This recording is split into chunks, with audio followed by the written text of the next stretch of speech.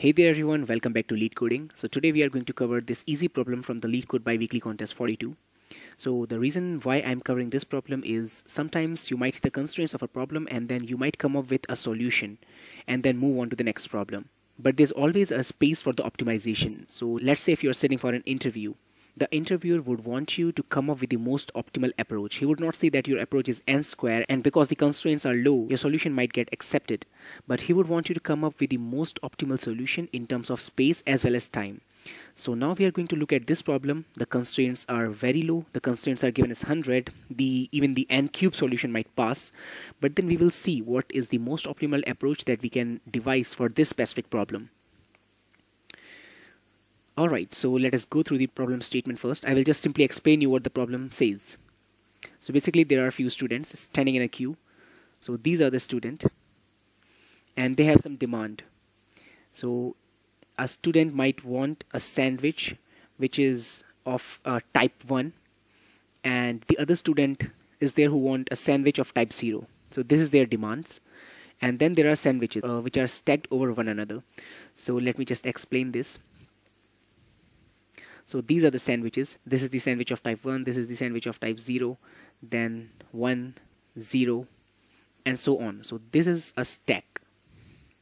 Basically, uh, the only operation that we can do is we can take up the topmost sandwich and we cannot disturb the rest of them without picking up the topmost. So we will have to go sequence wise.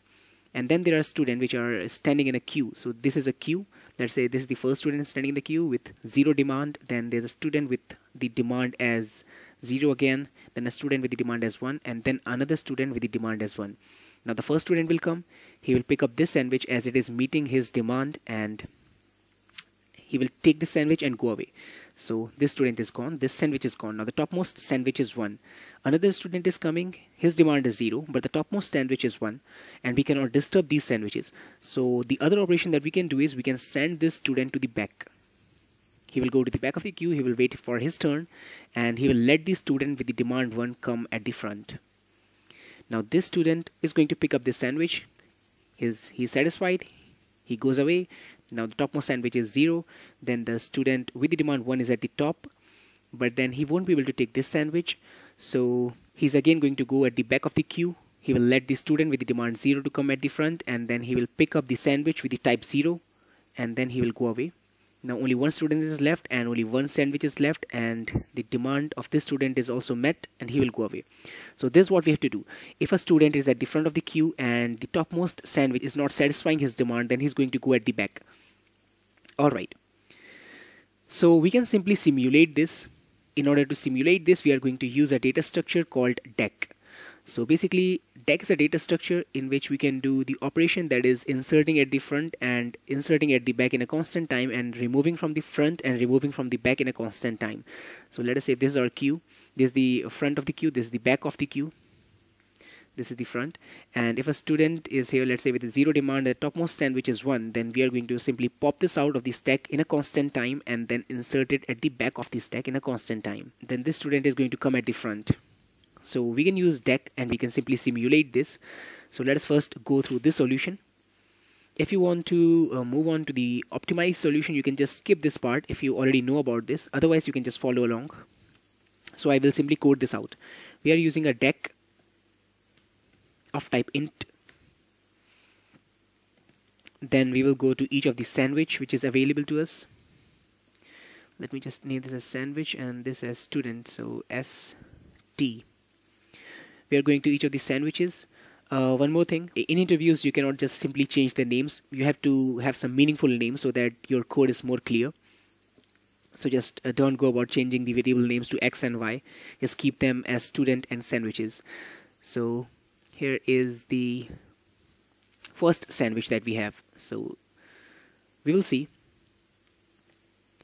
if q dot front also i think it is given that the size of the student and the lengths are same so we don't have to worry about if there's something in the queue or not. So queue won't be empty as till the time we are not finished with all these sandwiches. So the queue dot front if it is equal to the demand a. So the demand is equal to the available sandwich then we are simply going to pop this q dot pop uh, from the front. Okay.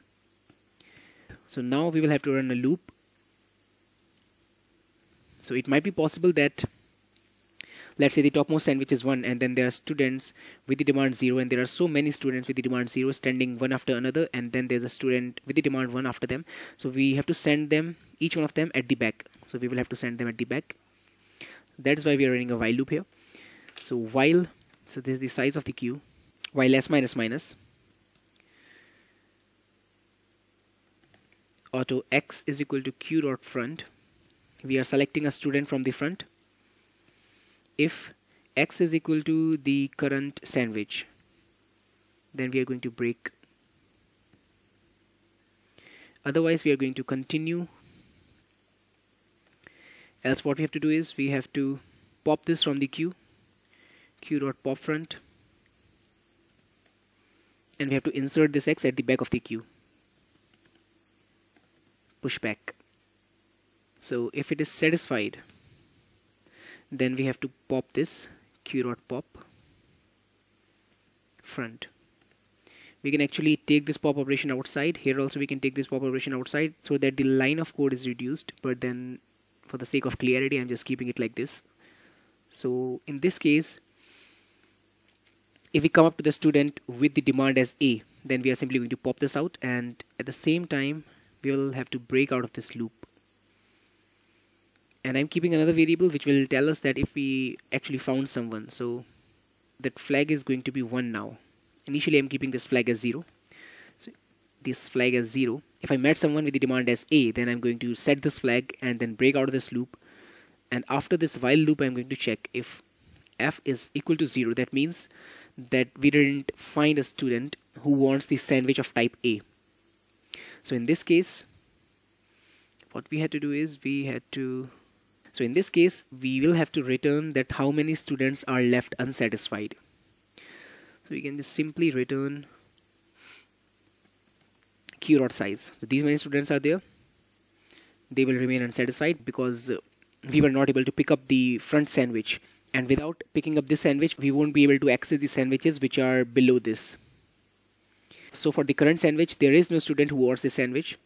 And that is why this sandwich is never going to be removed from the top so we won't be able to access more sandwiches which are at the bottom.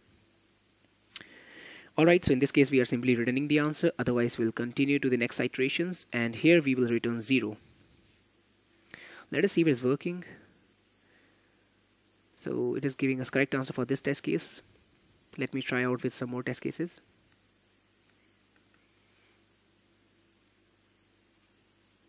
Mm-hmm so we got wrong answer for this one. If the flag is 1 okay. Okay for the next one the answer should be 3 oh I've just forgot to insert the element into the queue q dot pushback a.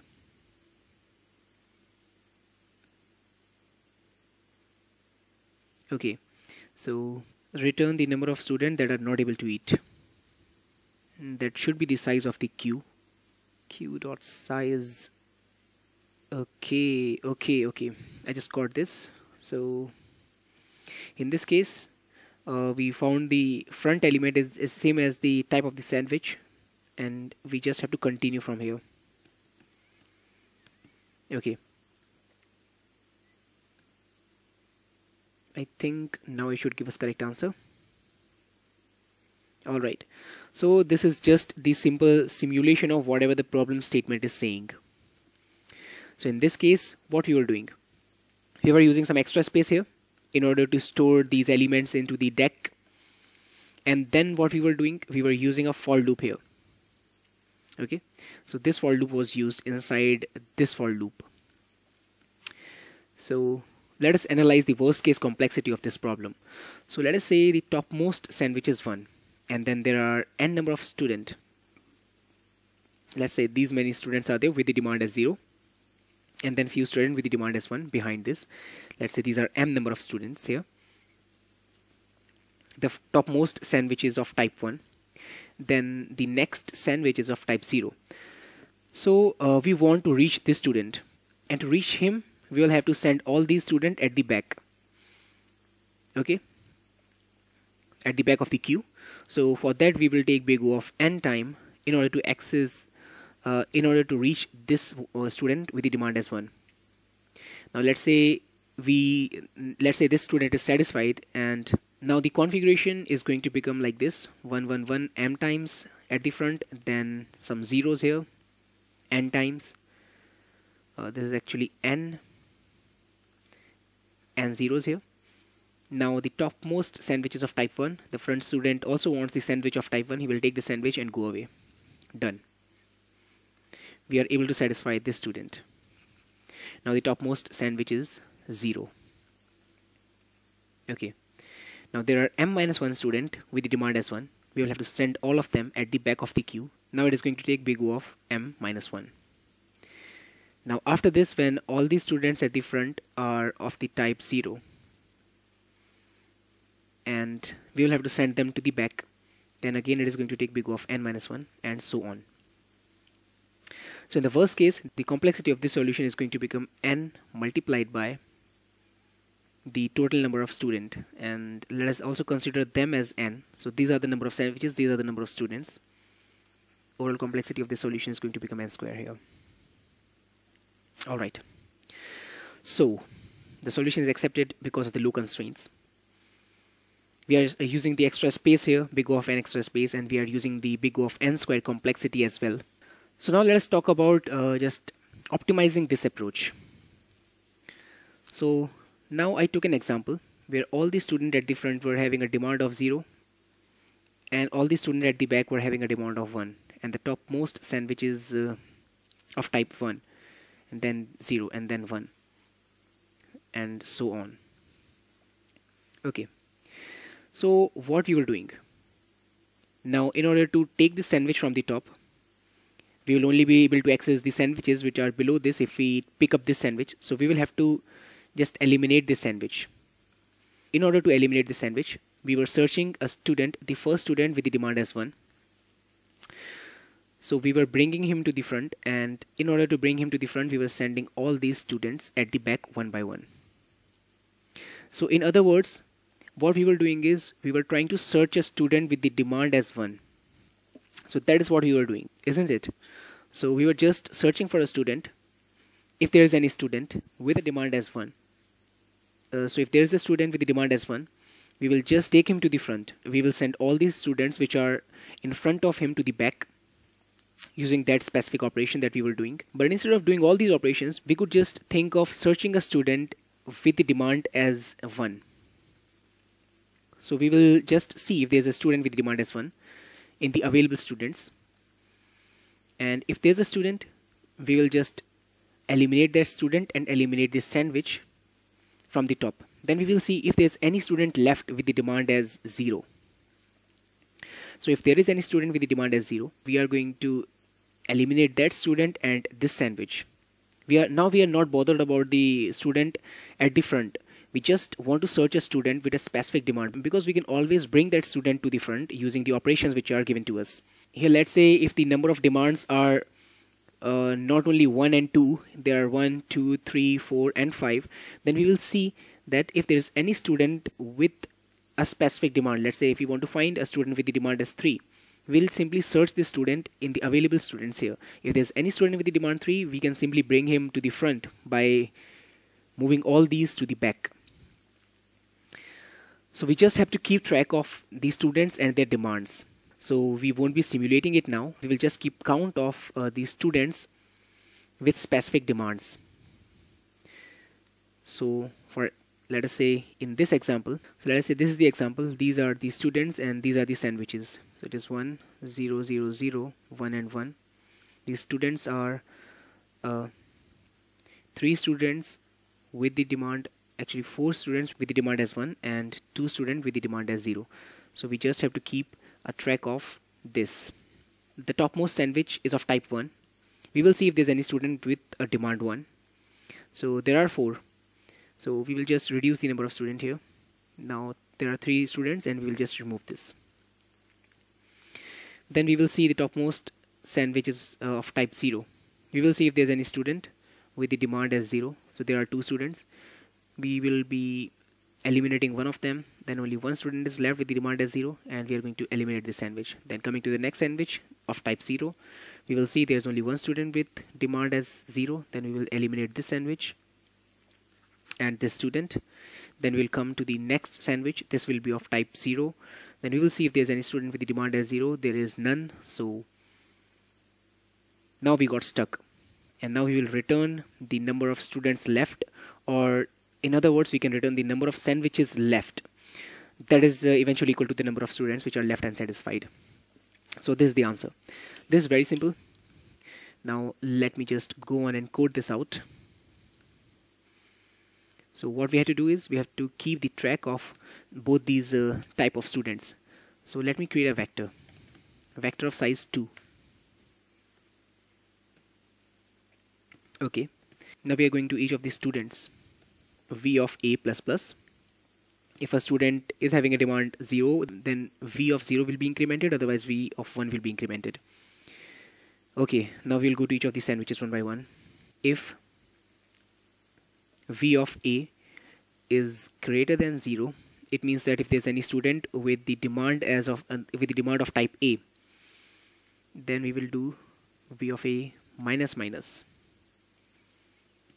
Otherwise we're gonna return uh, we gonna return v of a plus v of a XOR1 or basically v of 0 plus v of 1 these are the students which are left.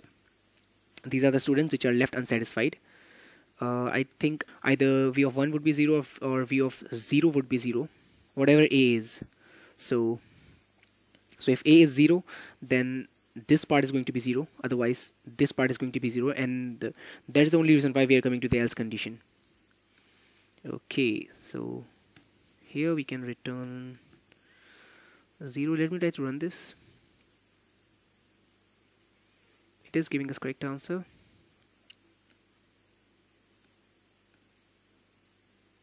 And it got accepted.